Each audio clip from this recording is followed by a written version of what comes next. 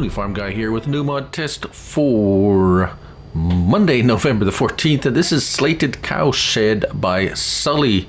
15.96 megabytes to download, 19 slots on console. And this uh, cowshed can be found under animals and cows. And there it is $100,000. It will hold 100 cows. It has automatic lighting, as you can see.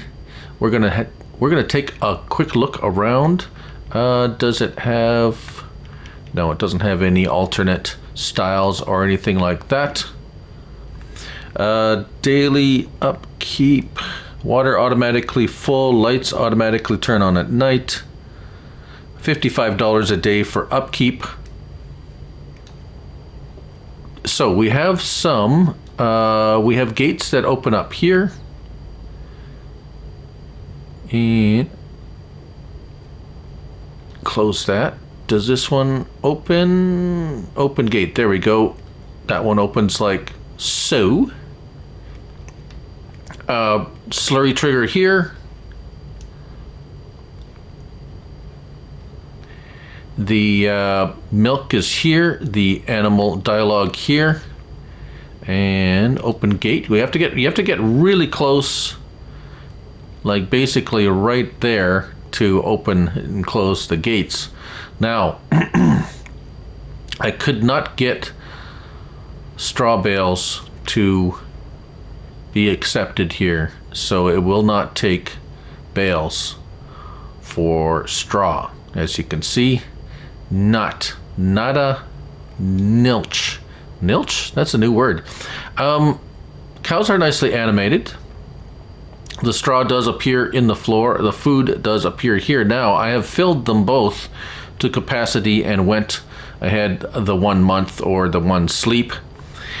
Uh, capacities are food is uh, 33,750 and straw is 16,000 liters. Now if we go take a look at our cowsies uh, the food has run out. So yeah you can't put enough food in there for them to survive the month. Uh, food goes in quite nicely, actually. It doesn't take, uh, it's not, there is an overhang, as you can see here, but the trigger actually is pretty generous where you don't have to go underneath to unload. So the food did run out if we look back in there, straw, there's still 6,400 liters of straw, so that's not too bad.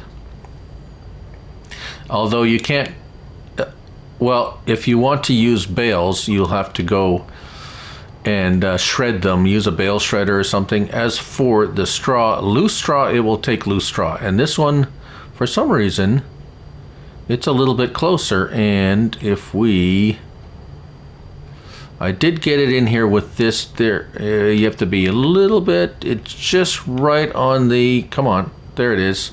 So you're just underneath that overhang for the straw trigger to come up. And uh, that's where the straw goes in. Now, uh, manure. Yes, it does uh, produce manure. I have the manure silo here. And as you can see, we have manure, so very good there.